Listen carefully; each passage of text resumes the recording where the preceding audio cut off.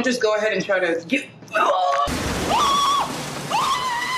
Hey there everyone, welcome back. So this TikToker went viral for testing a dog shock collar on herself. It's on level 3, let's see what that does. Weak.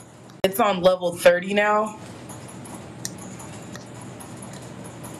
Weak. If you watch her face reaction at level 30, that's where she should have probably stopped. Weak. So honestly, this thing is kind of weak. I'm not gonna lie. So I, I cranked it all the way up to level 99. So I'm gonna see if that really does anything. Well, this is what level 30 did.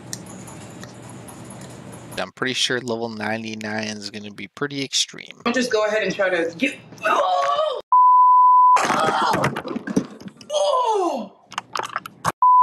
That's absolutely ridiculous considering that there's tons of videos on YouTube of guys doing this at a level 100 and they just get completely knocked.